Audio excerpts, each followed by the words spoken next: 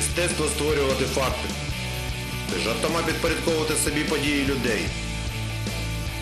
Вигода її мета. Інтрига засіб. Перемогти її може тільки порядність.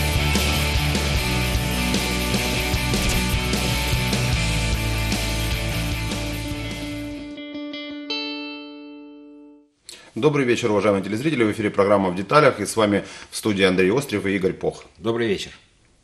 Сегодня мы будем э, говорить опять о политике, и на этот раз мы будем говорить об областном совете. Если вы помните, на прошлых программах мы рассматривали э, то, как проходил, э, проходило заседание городского совета в, час, в части э, опять перераспределения бюджета, но э, областной совет не меньше, э, не меньше удивил своим же заседанием а именно что происходило и что происходит в кулуарах. Там очень интересные были созданы группы.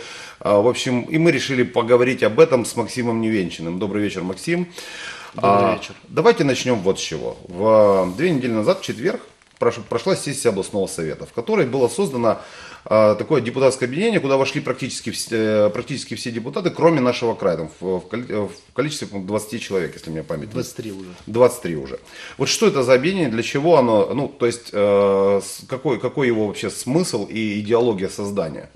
Ну, если вы э, видели вот этот вот инцидент, с, э, связанный с нелепой историей про Федора Барну, который бегал и собирал подписи, потом он все-таки потерял этот листочек со сбором подписи, э, большинство депутатов действительно было ну, скажем так, э, и, и, и сегодня крайне возмущены тем, что приходит губернатор, губернатор как э, царек такой вот должен принимать какие-то решения, а все остальные э, депутаты являются всего лишь статистами, и они должны лишь одобрить какое-то решение. Формируется бюджет областной. Э, Депутаты не могут его откорректировать, потому что как только возникают вопросы, подождите, еще проект не готов, проект не готов. Как только проект уже готов, говорят, все, конец года, нужно срочно принимать бюджет. Срочно принимать, иначе все школы, ПТУ и так далее, больницы останутся без зарплаты. И, грубо говоря, нет возможности корректировать эти вещи, потому что э, областной совет долгое время был ручным органом. Сегодня достаточно, э, это немного, но достаточное количество, 23 депутата заявили о том, что они в большей степени будут ориентироваться не на э, главу областной администрации, брать под козырек то, что нужно ему, а в большей степени отстаивать интересы громады, потому что, собственно говоря, как это в законе сказано, они должны отражать их интересы, отстаивать в первую очередь. Э, Основные цели и задачи в ближай... это, это идеология, Э, грубо говоря, основной принцип или такой вот кредо тех людей, которые объединились. Э, Наш край, если вы знаете, он в большей степени курируется Давидом Макаряном, который имеет э, очень тесное, или скажем так, очень сильное влияние на наш край. Э, Ну и по этой причине Депутаты, депутаты не не вошли. вошли, да. Однако большинство депутатов действительно э, вошли вот в это объединение. Основные цели, которые они ставят. Первое, это вернуть делегированные полномочия по управлению коммунальным имуществом. Потому что, если вы видели, собственно говоря, сессия дала оценку Ольги Видиной по управлению коммунальным имуществом. Оно распродается, оно э, не уха, э, банкротится, значит, закрываются многие коммунальные предприятия и стараются как можно быстрее распродать вот то, что еще в советское время когда-то было создано. Абсолютно неэффективное, бестолковое э, Управление. управление, я не знаю, Хорошо, давайте, если мы говорим уже... Кроме этого, я Да, втор- да. второй момент. Следующее. Вопрос децентрализации, который сегодня обсуждается и рассказывается в программе президента, что мы будем передавать все полномочия на места, он, собственно говоря, так и не происходит, если мы можем отдельно на этом остановиться. Происходит просто территориальная административная реформа, перекрой э, карты области, села объединяются, назначается новый административный центр, по сути происходит территориальная административная реформа, но э, управление землей, э, э, скажем так, децентрализация земельная, финансовая либо кадровая, она так и не происходит. Полномочия не увеличиваются, депутаты ничего не могут делать, опять депутатов формируют, делают из них статистов. И самый последний момент, это, собственно говоря, эффективное распределение бюджета. Вот это три основные задачи, которые э, ставит перед собой депутатская группа. По, э, вот еще совсем маленький момент, по э, результатам выделения денег, еще в апреле выделили деньги на строительство дорог, депутаты проголосовали, выделили деньги, но исполнительная власть так и не смогла освоить, вот вы вдумайтесь, э, потому что они проводили тендеры, кто будет зарабатывать на ремонте, строительстве дорог, и деньги до сих пор остались. И вот мы в срочном порядке сейчас собираем сессию для того, чтобы освоить эти деньги, хоть как-то направить их на медицину, как-то отправить на э, э, важные нужды и облтеплоэнерго и так далее, и так далее, и так далее, тех людей, которые сегодня живут без зарплаты. Вот, Максим, скажите, так это получается, вот эта депутатская группа, она, это политическая группа? Нет. На, на политической основе, либо на хозяйственной основе? Ну, вы знаете... э, Я почему спрашиваю? Я хочу просто уточнить. Вот вы сказали, что э, депутаты из фракции наш, наш край, партии наш край, да, э, не вошли. Да. Э, ну, по, с- По политическим по причинам. политическим причинам, да. А э, депутаты из каких фракций туда вошли? Из всех Всех остальных? остальных, Из да. всех остальных фракций. Это Батькивщина, Так. это Укроп, это оппозиционный блок, это внефракционные, это БПП. БПП, Так. э, это Новодержава, это Відродження. Так. Собственно говоря, То все, то есть- все, то кроме есть- одной. Да, То есть кроме- получается, что, э, на- например, э, депутаты из фракции БПП, которые вошли в группу, и, и Батькивщина, они тоже э, не доверяют, вернее, не верят э, в ту децентрализацию, которая проводится. Правильно я Э, понимаю? Смотрите, еще раз, основная идея это не децентрализация. Нет, нет, нет. Не А децентрализация, как децентрализация- часть. Децентрализации вы же увидите, вы что никакой нет. Нет, децентрализации нет. Минуточку, это ваше мнение. Я спросил о другом. Э, Вы тоже в этой группе? Игорь, вы Правильно? задаете вопрос и мне пытаетесь навязать ответ. Нет.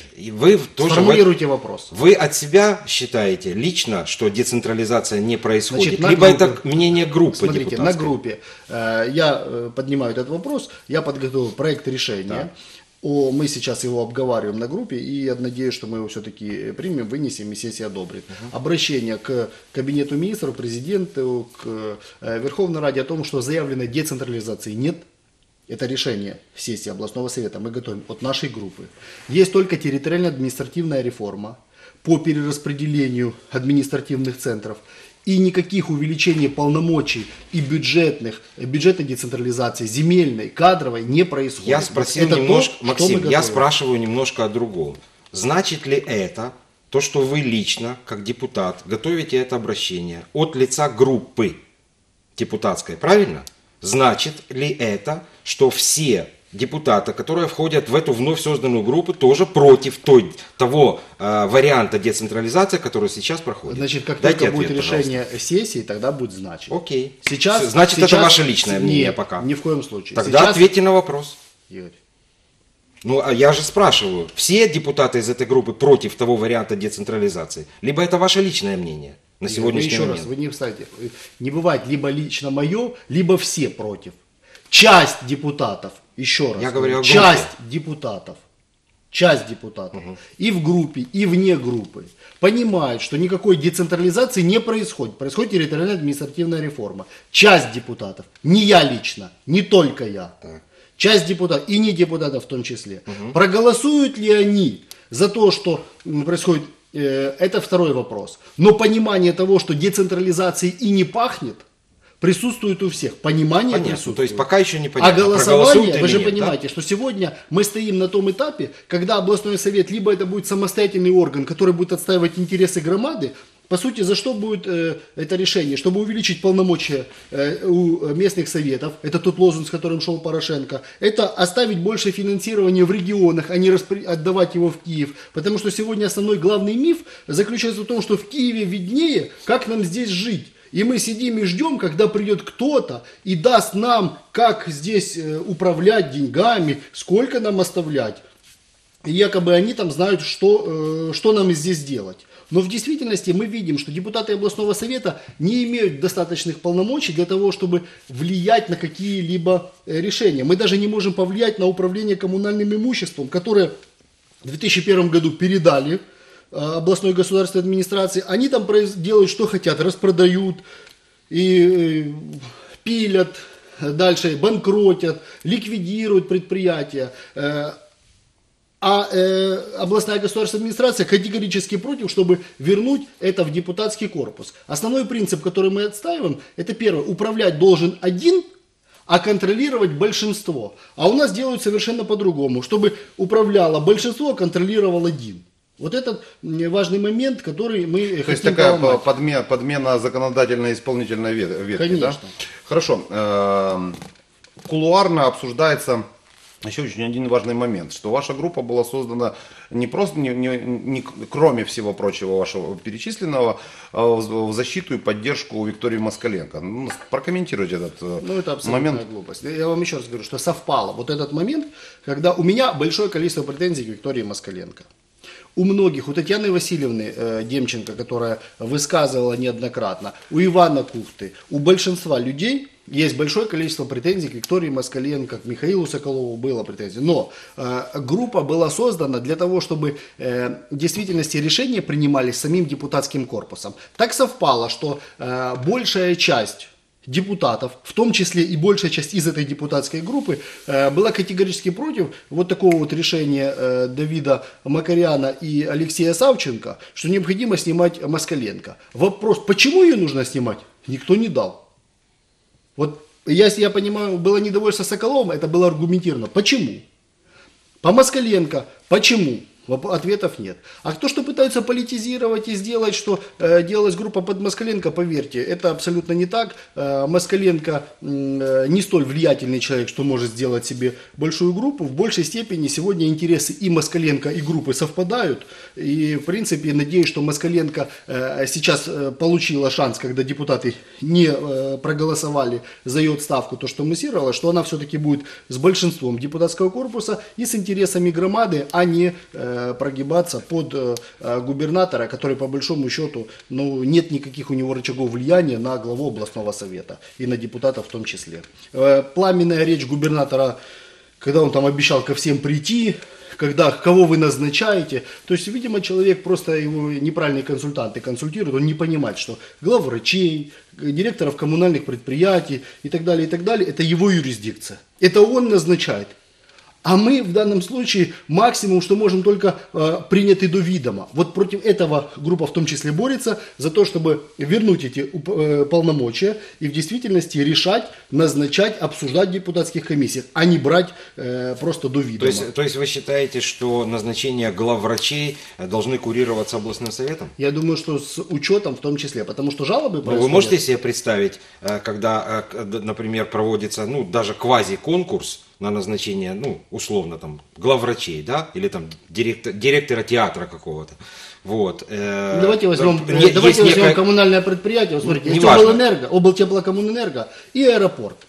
Ну, это немножко другое. Я Почему имею в виду главврачей. Это несколько другая э, аэропорт, э, коммунальное предприятие. Больница не является коммунальным предприятием. является. Вот, поэтому я и спрашиваю, что э, вот, вот а мы эти говорим, а я полномочия, говорю вам представьте за, себе, а я вам весь говорю за областной- коммунальные предприятия. Ну, так при чем И тут возврат- главврачи? А я, э, при чем главврачи? Потому что губернатор упрекает, кого вы назначаете на главврачей. Он задает этот вопрос депутатам, которые не назначают. Вы послушайте внимательно его речь. Ну, Там ну, ну, то есть, абсурда ну, вы- очень много. Вы хотите, то есть, э, получается говорим- так, что если он как бы э, обвиняет в лапках, да, то вы хотите, чтобы он обвинял реально. Нет, мы не хотим, чтобы он обвинял. Ну, так а зачем тогда назначать главврачей через облсовет? Мы говорим о том, что... А, а вы знаете, что происходит? Вот э, э, у нас абсолютно абсурдное законодательство. Назначают врач, э, врача или снимают, и облсовет должен за это проголосовать. Зачем нам за это голосовать? И мы стараемся, возьмите до видома. С одной стороны абсурдно, что э, зачитывают информацию, и мы ее не можем не взять до видома, потому что мы же уже в курсе событий. Но голосовать за это, чтобы каким-то образом сказать, вы видите, вот они вместе принимали решение. Нет. Принимать решение должен конкретный человек. И нести в таком случае ответственность. А контроль должен быть уже коллективный. Они хотят, чтобы было э, э, принятие решения коллективное, чтобы никто был э, не виноват. А контролировать будет один человек. Вот против вот этой системы мы стараемся бороться. Мы говорим о другом, о коммунальном имуществе. Смотрите, сейчас облтеплокоммунэнерго. Поставили э, сняли руководителя, поставили исполняющим обязанности, который ничего, никакой ответственности не несет, у него даже контракта нет, он исполняющий обязанности. Выделили, раз уже э, погасили долги, там порядка 8 миллионов задолженность. Что произошло с этими деньгами? Эти деньги не дошли на э, погашение задолженности по заработной плате, они осели, э, непонятно где. Э, сейчас исполняющий обязанности э, фининспекция проверила действительно большое количество нарушений, дали заключение. Он там делает какой-то проект, э, его жена значит, на- работает э, на фирме, перечислили там миллион с чем-то жене, чтобы она сделала какой-то проект абсолютно ненужный. Опять теперь опять приходят и просят, дайте опять денег. Поэтому депутаты намерены в действительности деньги отдать, потому что люди, которые работают на облтеплоэнергии, они не виноваты. Но и, собственно говоря, добиться ответственности у этого человека. Но самое интересное, что депутатский корпус не назначал этого человека. Он не может с него спросить. Это все в юрисдикции областной государственной администрации, которая назначает, создает большое количество проблем, они зарабатывают деньги, потом преподносят так, что вот депутаты не хотят дать денег. И виноваты, пойдите, говорит, расскажите э, работникам облтеплоэнергии, почему вы, депутаты, не даете деньги? Чтобы потратили. А мы что э, в данном случае хотим? Мы хотим, чтобы эти деньги отдать, но и полномочия по управлению, естественно, взять э, себе. Вот это важный момент. И А нести поч- ну, ответственность. Стояв- Э, Прошу прощения, по поводу э, теплоэнерго. А почему в таком случае с сессии сняли вопрос о, о рассмотрении и назначении прежнего директора облтеплоэнерго? Ну, это же, вы знаете, попытка влиять областной государственной администрации. К сожалению, На кого? она еще присутствует. На депутатский депутатский корпус. да. И понятно. Но в самом, в самом деле очень важный, очень важный момент, связанный с как раз э, вот непосредственно с, э, и с некоммунальными больницами и так далее. Депутаты являются фактически, ну, это так, не- небольшой спич в защиту, да, депутаты являются фактически теми людьми, которые ходят, на, ну, грубо говоря, в полях э, с людьми и э, лишать, лишить их возможности влиять на какие-то процессы, это, ну, это нивелировать, собственно, сам весь депутатский корпус. А, Ну, это вот такое мое, мое сугубо личное мнение, потому что действительно у депутатов должен быть инструмент кон- контроля и влияния на процессы, происходящие в подведомстве конкретной рады, да, там это и будь то город, будь то область. Что ж, э, еще один очень важный момент. Давайте вот, вот еще о чем поговорим. Коммунальная собственность. Много, много, много историй вокруг коммунальной собственности и, в частности, пляски вокруг э, того же э, аэропорта. А, аэропорт. В чем там камень преткновения? Вот давайте мы раскроем, у нас там вот осталось там буквально а, 8 минут, давайте мы раскроем, чтобы все понимали, что у нас с аэропортом происходит, потому что часто в СМИ появляются сообщения, то его кто-то куда-то куда пилит, то его кто-то куда-то уводит, то его кто-то приводит, то, То какие- то инвесторы то какие-то. какие-то инвесторы, которых никто не принимает. Вот что там происходит с аэропортом? Ну, сейчас аэропорт, э, есть решение, оно еще действует, его еще никто не отменил, областного совета, которое, опять же, принималось под давлением э, того губернатора э, о передаче э, Прежнего губернатора. прежнего губернатора, да, о передаче аэропорта э, с областного В э, в городскую городскую, собственность. собственность. Да. Вот. Э, Депутаты просто как статисты проголосовали. Сегодня весь сырбор происходит из-за того, что депутаты перестали быть просто статистами. И депутаты говорят, почему вдруг мы должны просто кому-то отдать? Потому что губернатор, э, смотрите, вот еще раз пример неэффективности или абсурдности управления коммунальным имуществом областной государственной администрации. Мало того, что они все санатории, профилактории, э, предприятия, они как-то там ликвидируют, пилят, они еще и пытаются от этого аэропорта избавиться. Понятно, что, видимо, видимо, не просто так. Э, То армии давайте отдадим. Губернатор принимает решение э, о передаче властности спільної територіальної громади, спільної власності територіальної громади без решения. Вот. А э, к депутатскому корпусу он обращается, когда он хочет кого-то уволить или взять, что якобы ну, проголосуйте, чтобы ответственность разделить, когда это нужно. Э, Аэропорт решили передать в город, но этот эта процедура тормозится. Э, Что сегодня э, ситуация? Сейчас задолженность присутствует около 30 миллионов э, по всем вопросам. Есть решение, сегодня вот на этой группе обсуждалось, о том, что выделить небольшое количество средств на получение лицензии, которая была приостановлена, восстановление полотна взлетного, ну и, собственно говоря, начать запустить этот процесс в работу, потому что сегодня действительно мы находимся в интересном месте, это перевалочный пункт и для транспортного, и для грузового потока, вот, и это, по сути, начнет уже зарабатывать деньги. Но вот я инвестору, прошу прощения, инвестору который должен заходить, это невыгодно, поэтому инвестор добивается, чтобы этот э, аэропорт передали вот в таком вот в занедбанном состоянии, потому что его будет дешевле купить.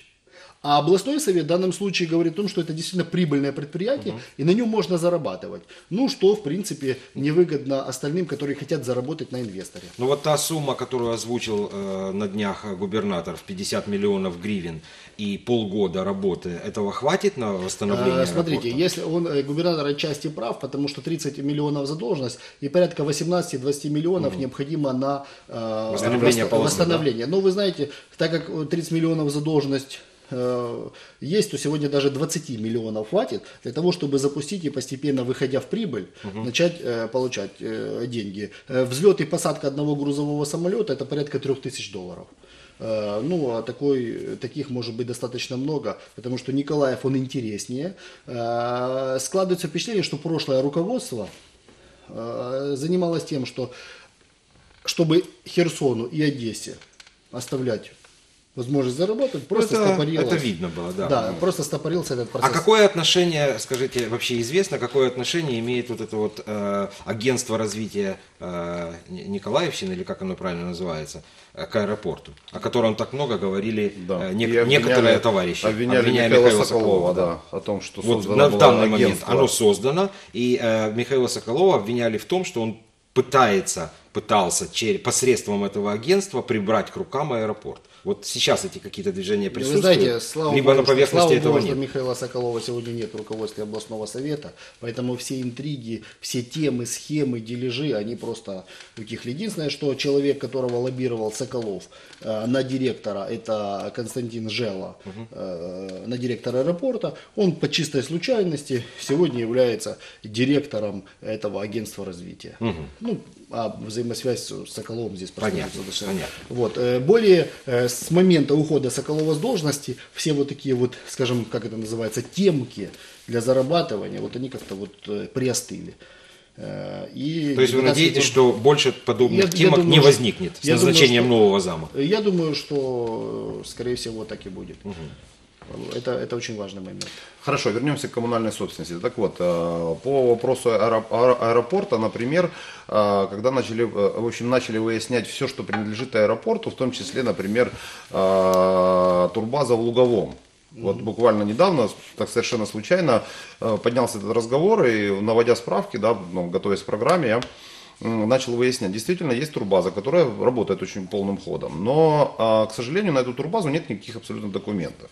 И э, выражая, выражая, скажем так, э, ну, неудовлетворение, неудовлетворенность работой Ольги Видиной, да, среди прочего, э, депутаты э, очень серьезно недофинансировали вопрос, э, вот, вот програ- программу подготовки, подготовки к приватизации, так называемую, да, то есть Ольга Видина со своим управлением должна были, должны были изготовить все необходимые, скажем так, документации, документации для того, чтобы передать, э, ну, что-то дальше принимать какое-то решение, потому что здесь сейчас нет ни, ни актов технического состояния. Вопрос и в очень- чем?